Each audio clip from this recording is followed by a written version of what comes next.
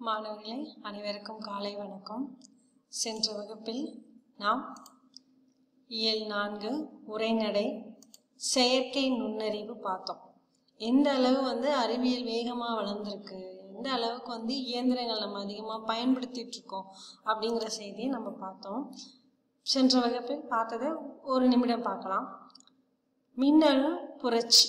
அதாவது பார்த்தீங்கன்னா மின்னணு புரட்சி. அதீத வளர்ச்சி நம்மகிட்ட அறிவியல் வளர்ச்சிங்கிறது இப்போ எப்படி இருக்குது ரொம்ப ரொம்ப ரொம்ப ரொம்ப அதிகமான ஒரு வளர்ச்சியாக தான் இருக்குது. சரிங்களா? அதாவது பார்த்தீங்கன்னா நம்ம வந்து கண்காணிப்பு கருவி அதாவது கேமரா. நம்ம எந்த செடி என்ன பண்ணுறோம் அப்படிங்கிறத டக் டக்குன்னு நமக்கு படம் முடிச்சு காட்டுது. அடுத்தது பார்த்திங்கன்னா சமையல். நம்மளோட விளையாடுறது எல்லாமே என்னது இயந்திரங்கள். நம்ம ஏதாவது ஷாப் பல் பொருள் அங்காடி அதாவது நம்ம ஏதாவது கடையில் போய் சூப்பர் மார்க்கெட்டில் போய் வாங்கணும்னு அவசியம் இல்லை. நம்ம ஃபோன் மூலமாக இல்லை ஆர்டர் பண்ணால் என்ன செய்யும் நம்ம வீடு தேடி வர அளவுக்கு வேகமாக வளர்ந்துருக்கு. அது மட்டும் இல்லை சீனாவில் ஒரு மருத்துவமனையில் ஐம்பதுக்கும் மேற்பட்ட மருத்துவமனை.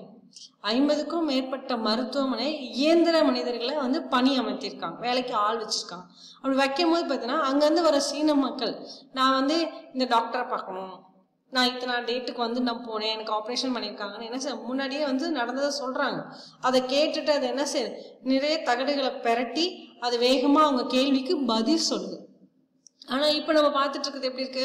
நம்ம ரிசப்ஷனில் போய் ஒரு லேடியோ இல்லை ஜென்னோ இருப்பாங்க. அவங்கள்ட்ட போய் நம்ம ஃபுல் டீட்டெயில் கேட்டு அவங்க பார்த்து சொல்லுவாங்க. ஆனால் இப்போ என்ன ஆயிடுச்சு?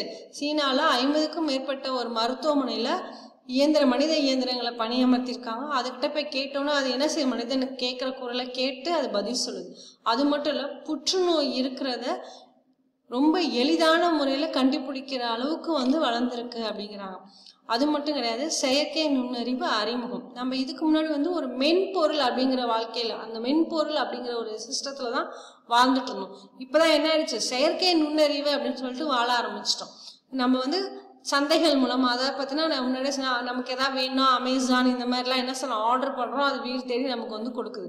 நம்ம எங்கே எங்கேன்னு போக வேண்டிய அவசியமே இல்லாத போயிடுச்சு. அப்போ செயற்கை நுண்ணறிவானது நம்ம என்ன செய்யறோம் அதிகமாக பயன்படுத்துகிறோம் தொழில்நுட்ப வரையறைகளின் படி அதாவது பார்த்தீங்கன்னா அந்த இயந்திரங்கள் வந்து தானாக இயங்குறதுனா அது மனிதன் தான் இயக்கி வைக்கிறான். சரிங்களா? அதுக்கு வேணுங்கிற ஸ்டோரேஜ் நம்ம வச்சோம் அப்படின்னா நம்ம என்ன செய்யலாம் அதில் வந்து நம்ம வேணுங்கிறத எடுத்துக்கிறோம். இப்போ நம்ம சிஸ்டம் இங்கே முன்னாடி நம்ம கையில் நம்மகிட்ட இருக்கும். நம்ம ஏதாவது நம்ம படம் பார்க்கணும்னு நினச்சா பார்க்கலாம். பாட்டு கேட்கணுன்னா பார்க்கலாம்.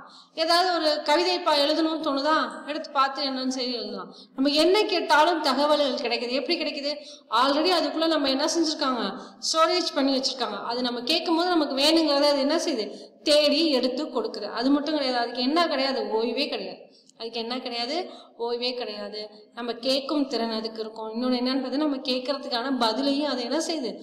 சொல்லுது. இந்த அளவுக்கு வந்து செயற்கை நுண்ணறிவு நம்ம வாழ்க்கையில் என்ன செய்யுது? ஒரு பயணமாக வந்துட்டு இருக்கு ஒரு நபர் மாதிரி நம்மளோட நிழலாக என்ன செஞ்சுட்டு இருக்கு வந்துட்டு இருக்கு அதனால தான் சொன்னேன் இது இல்லாமல் நம்மளால இப்போ இருக்க வாழ முடியுதுன்னு கேட்டால் அது ரொம்ப ரொம்ப கடினமானது. வாங்க. அடுத்தது பார்க்கலாம். இப்போ நீங்கள் எல்லார் கையிலும் மொபைல் இருக்கும். இருக்கா? யாருக்காவது ஒருத்தர் கால் பண்ணி பாருங்க. உடனே அங்கே என்ன சொல்லும் ரிங்டோன் அது கொரோனா பற்றின ஒரு பதிவு ஒரு வாய்ஸ் கேட்கும் அந்த வாய்ஸ் பேசுகிறாங்க பார்த்தீங்களா அதுக்கு பேர் தான் என்னது? மெய் நிகர் உதவியாளர். அது வந்து என்ன செய்யும்? ஒரு கம்ப்யூட்டரில் ஸ்டோரேஜ் பண்ணிக்கலாம் நம்ம கால் பண்ணும்போது அந்த டியூன் வந்து நமக்கு கேட்கும் சரி ஆனால் ஒரு மனிதர் கிடையாது ஆனால் நமக்கு எப்படி தோணும்? ஒரு மனிதர் நம்மக்கிட்ட அதை சொல்கிற மாதிரியே ஒரு உணர்வு வரும். சரிங்களா? பாருங்க. திறன் பேசிகளில் இயங்கும் உதவும் மென்பொருள் திறன் பேசினா செல்ஃபோன் அதில் நமக்கு பேச கால் பண்ணும்போது நமக்கு பேசுறது பற்றிய ஒரு ஒரு மனித உணர்வு அதுதான் மென்பொருள் கண்ணுக்கு புலப்படாத மனிதனை போல. நம்ம கண்ணுக்கு அது தெரியுமா? தெரியவே தெரியாது. நம்ம கண்ணுக்கு அது தெரியவே தெரியாது. நம்முடன் உரையாடி சில உதவிகள் செய்கிறது. நம்மளோட என்ன செய்யுது உரையாடி சில உதவிகள். நீங்க கால் பண்ணும்போது இந்த என்ன சொல்லணும்னு அவங்க பேசிட்டு தான் வேறு ஒருவரிடம் பேசிக்கொண்டே இருக்கிறான்னு சொல்லுவோம். டவர் இல்லையா? நெட்ஒர்க் கவரேஜில் இருக்காங்கன்னு சொல்லுவோம். அதுவும் இல்லையா? சுவிச் ஆஃப் ஃபோன் ஆனது என்ன சரி சுவிச் ஆஃப் பண்ணிருக்க அப்படின்னு சொல்லுவோம். இப்போ ஒன்று ஒன்றுக்கு ஒவ்வொரு பதில் நமக்கு அது சொல்லுது. ஏன் கால் போக மாட்டேங்குது? ஏன் வந்து அவங்களுக்கு என்னால் பேச முடியல அப்படிங்கிறத என்ன செய்யுது? அது சொல்லுது. இப்போ அது உங்க அந்த சொல்கிற அந்த மனிதரை தான் என்ன சொல்கிறாங்க மெய் நிகர் உதவியாளர்னு சொல்கிறாங்க வீட்டில் எல்லாரும் கேஸோ இல்லை வந்து நீங்கள் ஃபோனில் ஏதாவது ஃபால்ட்னா இதுக்கு முன்னாடி பாருங்கள் கஸ்டமர் கேருக்கு ஃபோன் பண்ணுங்கன்னு சொல்லுவாங்க. நீங்கள் எண் இரண்டே அழுத்தவும். எண் மூன்றே அழுத்தவும். யார் சொல்லுவாங்க எண் ஒன்பதை அழுத்தவும் சொன்னதுக்கு அப்புறம் தான் அந்த கஸ்டமர் கேருக்கான லைனே நமக்கு போகும். ஆனால் அந்த எட்டாம் நம்பர் அழுத்தணும்னு அந்த எட்டாம் நம்பர் வரைக்கும் அழுத்தணும் அப்படிங்கிற விஷயத்த ஒரு நபரோ இல்லை ஒரு மனிதன் நம்மகிட்ட சொல்ற மாதிரி நம்ம அதை கேட்டு கேட்டு ப்ரெஷ் பண்ணிட்டே அப்பலாம் போயிட்டே இருப்பாங்க அந்த நம்பர்ஸ் அழுத்திட்டே போயிட்டு நே நைன் வந்து அவங்க அழுத்துற வரைக்கும் என்னைக்கு எப்போ வந்து நமக்கு அந்த கஸ்டமர் கேர் பேசுறாங்களோ அது வரைக்கும் அந்த பட்டனை என்ன செய்வோம் அழுத்திக்கிட்டே தான் இருப்பாங்க. அப்போ அந்த அந்த ஒன் இரண்டே அழுத்தமும் மூன்றே அழுத்தமுங்கிற அந்த வாய்ஸ் கேட்குது பார்த்தீங்களா அந்த வாய்ஸ் ஒரு மனிதர் நம்மக்கிட்ட பேசுகிற மாதிரியே ஒரு ஒன்று உணர்வு இருக்குமா? அப்படிப்பட்ட அவங்கள தான் என்ன சொல்ற மெய் நிகர் உதவியாளர் அப்படின்னு சொல்றாங்க. அடுத்து பாருங்க. நாம் சொல்பவருக்கு தொலைபேசி அழைப்பு விடுக்கும். நம்ம யார் பேரா சொல்ல சொன்னோம் அப்படின்னா வேகமா என்ன செய்யும்? அவங்களுக்கு கால் போகும். அதாவது பார்த்தீங்கன்னா இப்போ நம்ம யாருக்கா கால் பண்ணா உள்ள போய் கான்டாக்ட் லிஸ்ட்ல போயிட்டு அந்த நேம் எடுத்து நம்ம ஃபோன் பண்ணலாம். ஆனால் இது எப்படின்னா நம்ம வாயை திறந்து இப்போ அன்பு ஃபோன் பண்ணுங்க அவங்க கால் பண்ண அப்படின்னு சொன்னால் என்ன செய்யும்? வேகமாக அவங்க நம்பருக்கு அது கால் பண்ணும்.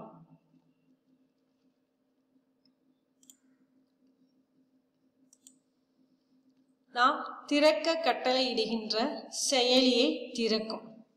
நம்ம ஏதாவது ஒரு பாட்டு ஏதாவது ஒரு ஆப்பு நம்ம நிறைய வாட்ஸ்அப்பு யூடியூப்பு இதெல்லாம் நம்ம மொபைலில் பார்த்துருப்போம். அதில் ஏதாவது ஒரு விஷயத்த நம்ம திறக்கணும் அப்படின்னு நம்ம அதை போய் ஓப்பன் பண்ணி டச் பண்ணணும் நீங்கள் அது வாய்ஸ் ரெக்கார்டில் சொன்னாலே என்ன செய்யுமா? அது வேகமாக அதை திறந்து காட்டும் அப்படிங்கிறாங்க. நாம் கேட்பதே உளவியலில் தேடும். நம்ம ஏதாவது ந- ஒரு கட்டுரை பற்றின செய்தி வேணும் இல்லை ஒரு வார்த்தைக்கு ஒன்று பொருள் வேணும் அப்படின்னா நம்ம டைப் பண்ணுவோம். வேக வேகமாக அந்த உளவியலுக்குள்ள தேடி உழவு அப்படின்னா உலாவுதல். தமிழில் படிச்சிருப்பீங்க. உலா அப்படின்னா உலாவுதல் தேடுதல் நடத்தல் இது பல பொருள் இருக்கு. உலாவினா தேடி என்ன செய்யுது நமக்கு அது? தேடி நமக்கு என்ன கொடுக்குறோமோ அது நமக்கு தேடி ரொம்ப சீக்கிரமா கொடுக்கும். அழகான கவிதை தேடும். நம்ம ஒரு கவிதை தலைப்பு கொடுக்குறோம். மலையை பத்தின கவிதை வேணும் நட்பை பத்தின கவிதை வேணும் அம்மா பத்தின கவிதை வேணும். ஏதாவது ஒரு கவிதை வேணும்னு சொல்லி நம்ம கேட்டோம்னா வேகமாக என்ன செய்யும்? அதுக்கு ரிலேட்டடான அதற்கு தொடர்பான அத்தனை கவிதைகளையும் நம்ம கொண்டுட்டு வந்து என்ன செய்யும்? அது காட்டும் எந்த கடையில் எது விற்கும் என்று சொல்லும். கண்டிப்பாக ஆனால் இப்போ நம்ம அதிகமாக இந்த மாதிரி சிஸ்டம் வந்து பயன்படுத்தலாம் ஆனால் இருக்குது. எந்த கடையில் என்ன பொருள் வந்து இருக்குது அது எந்த அளவுக்கு குவாலிட்டியாக இருக்குதுங்கிறத முதற்கொண்டு நம்ம பார்க்க முடியும். சரிங்களா? அந்த அளவுக்கு வந்து செயற்கை நுண்ணறிவை நம்ம என்ன செய்யறோம் பயன்படுத்திட்டு இருக்கோம் படிப்பதற்கு உரிய நூல்களை பட்டியலிடும் நம்ம நிறைய இந்த நிறைய பார்ப்போம். குழந்தைகள் படிக்கும் நூல் பெரியவர்கள் படிக்கும் நூல் இளையவர்கள் படிக்கும் நூல் நீங்க டைப் பண்ணி பாருங்களேன். அந்தந்த நூலுக்கு ஏற்றதெல்லாம் கொடுக்கும். புராண கதைகள் கொடுக்கும். படிக்கிறதுக்கு நன்னெறி நூல்கள் கேட்டாலும் என்ன செய்யும்? எடுத்து கொடுக்கும். அப்போ நம்ம வேணுங்கிற புத்தகங்கள் நூல்களை படிக்கணும்னு நினச்சா கூட என்ன செய்யும்? அதுலேருந்து நமக்கு வந்து தேடி ரொம்ப எளிமையான முறையில் கொடுக்கக்கூடியதாக இருக்கும். அது மட்டும் இல்லை இப்போ நம்ம அதிகமாக மொபைல் கூட தான் இருக்கோம் ஃபோன் கூட தான் இருக்கோம். அதாவது இயந்திரத்தை கூட தான் நம்ம வாழ்ந்துட்டு இருக்கோம். இனி வரும் காலங்களில் எப்படி இருக்கும் அந்த இயந்திரம் அப்படின்னா நெருங்கிய நண்பர் உறவினரை போல. இப்பயே நம்ம அப்படிதான் இருப்போம். பக்கத்துல ஒருத்தர் உட்காந்துருந்தாங்க அப்படின்னா நம்ம கண்ணுக்கே தெரியும் நம்ம கண்ணுக்கு என்ன தெரியும் மொபைல் மட்டும் தான் தெரியும்.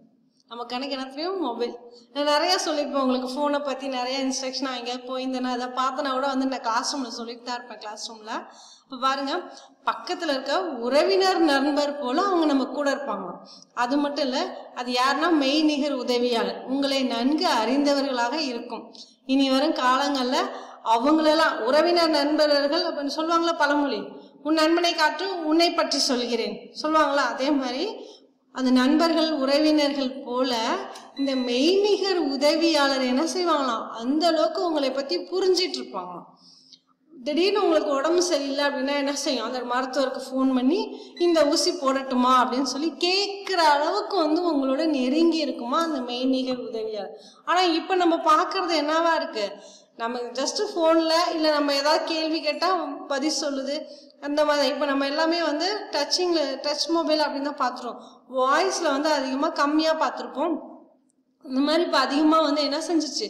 வளர்ந்துருச்சு அறிவியல் ரீதியாக அப்போ நண்பர்கள் உறவினர்கள் உங்களை புரிந்த புரிந்து கொண்டதை விட இந்த மெய்நிகர் உதவியாளர் உங்களை நன்கு புரிந்திருப்பாங்க.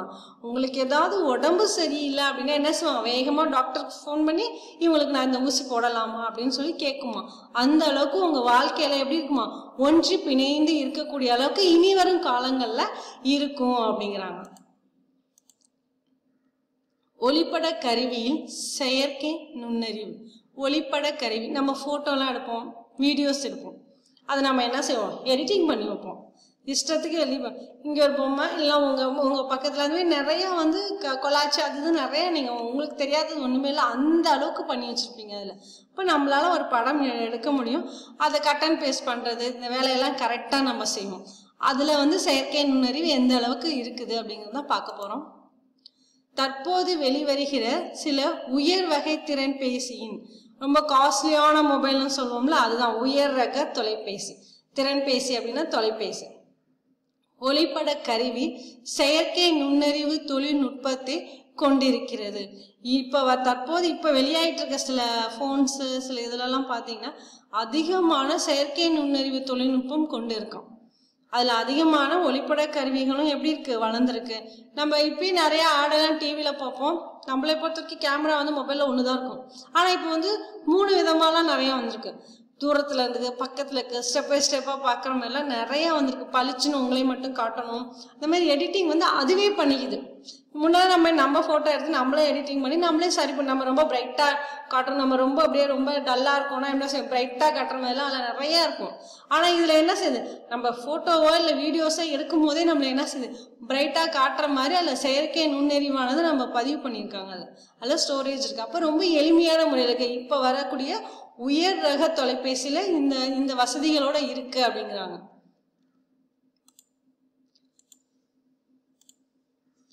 கடவு சொல் கைரேகையும் பழமை. அதாவது கடவு சொல் அப்படின்னா பாஸ்வேர்டு பாஸ்வேர்டு போடுவோம்ல மொபைல் நம்மளாம் பாஸ்வேர்டு போட்டிருப்போம். கைரேகை ஃபிங்கர் வைப்போம் மொபைலுக்கு நம்ம. ஃபோனுக்கு அதாவது தொலைபேசியில் என்ன செய்வோம்? அலைபேசிக்கு ஃபிங்கர் வைப்போம் நம்ம ஏதாவது ஒரு கையோட ஃபிங்கர் வச்சு என்ன செய்வோம்? ஓப்பன் பண்ணுவோம் ரேகையை வச்சு. சரிங்களா?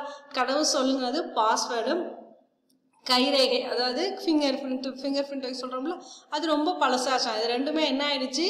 பழசாயிருச்சு இங்கே பாருங்க பாஸ்வேர்டு அந்த இதெல்லாம் வச்சு பேட்டர்ன் இதெல்லாம் இருக்குது இதெல்லாம் ரொம்ப பழமையானது அப்படிங்கிறாங்க. இப்போ என்ன ஆயிடுச்சு? முகத்தை அடையாளம் காட்டுவது புதுமை. வளர்ந்துருச்சு.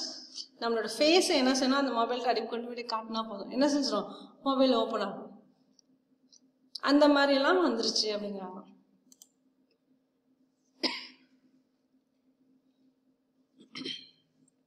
ஒளிப்பட கருவியில் எடுக்கும் படங்களை மெருகூட்டுது.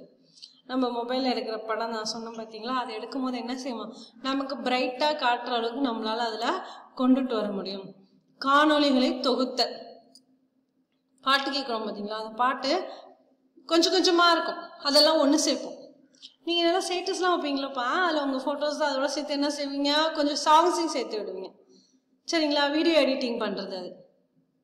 அந்த மாதிரி இல்லை ஒரு ரெண்டு லைன் ஒரு பாட்டு ரெண்டு லைன் அடுத்த ரெண்டு பாட்டு அடுத்த ரெண்டு பாட்டு அந்த மாதிரி கட் அண்ட் பேஸ்ட் பண்ணி வைக்கிறீங்க பார்த்தீங்களா அதுதான் அது எல்லாத்தையும் அந்த பாடல்களும் தொகுக்கிறது அப்படிங்கிறாங்க. நேரம் வீணாவது இல்லை. இந்த மூலமா என்ன செய்யுது? நமக்கு நேரம் வீணாகிறது கிடையாது. கண்டிப்பா. நம்ம கடவு சொல்லாத பாஸ்வேர்டோ கைரேகையோ பண்ணிக்கிட்டு அந்த ஒரு செகண்ட் வீணாகும். டக்குன்னு முகத்தை ஓப்பன் ஆயிடுது. ஒளிப்படம் அதை க படம் எடுக்கிறது ரொம்ப எளிமையாக அதுவே மெருகூட்டிக்குது. நம்ம வந்து தனியாக எடுத்து போட்டு பண்ணணும்னு அவசியம் கிடையாது. அதே மாதிரி நம்ம என்ன செய்யலாம்? பாடல்களையும் எளிமையாக தொகுக்க முடியும். இதனால் வந்து நேரம் என்ன செய்யலாம்? வீணாகாது. அதாவது வேஸ்ட்டாக நேரம் வந்து டைம் பாஸ் ஆகிடும் போயிடும் அப்படின்னு சொல்கிறாங்க பார்த்தீங்களா அந்த மாதிரி எதுவுமே இல்லை. நேரம் வீணாகாதான் இந்த முறையிலலாம் கண்டுபிடித்தோம் சாரி. இந்த முறையை வந்து பயன்படுத்தணும் அப்படின்னா. வாடிக்கையாளர் சேவை. இந்தியாவின் பெரிய வங்கி state bank of India state பேங்க்னு சொல்லணும்ல அதுதான் அதில் இலா அப்படின்னு சொல்லிட்டு ஒரு ஒரு இயந்திரத்தை பயன்படுத்தினா அது எப்படின்னா உரையாடும் மென்பொருள்.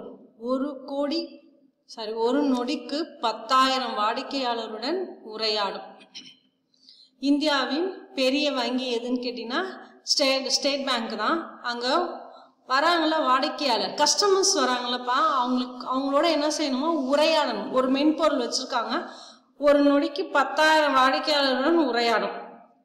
நம்ம அதுட்டு ஏதாவது கேட்கணும் வச்சு கடை அது என்ன செஞ்சிருமோ பதில் சொல்லணும். நம்ம சிஸ்டத்தில் ஏதாவது பற்றி தேடணும் அப்படின்னா வேகமாக நமக்கு எடுத்து கொடுக்குறது பற்றியா அது ரொம்ப எளிமையாக செஞ்சிடும். இது வந்து ஸ்டேட் பேங்க்கில் பயன்படுத்துகிறாங்க அப்படிங்கிறாங்க.